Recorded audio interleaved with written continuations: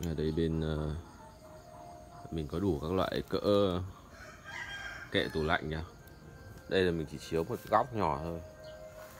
Ờ, anh em nào có nhu cầu cần ờ, kệ, kê tủ lạnh, máy giặt thì cứ liên hệ bên mình. Đây chỉ một góc, ở nó đây trong kho còn rất là nhiều nữa. Đủ các cỡ nhá. Inox và nhựa, giá rất là rẻ thôi. Toshiba hoặc là Sanyo hoặc là LG hoặc là các hãng đều có hết.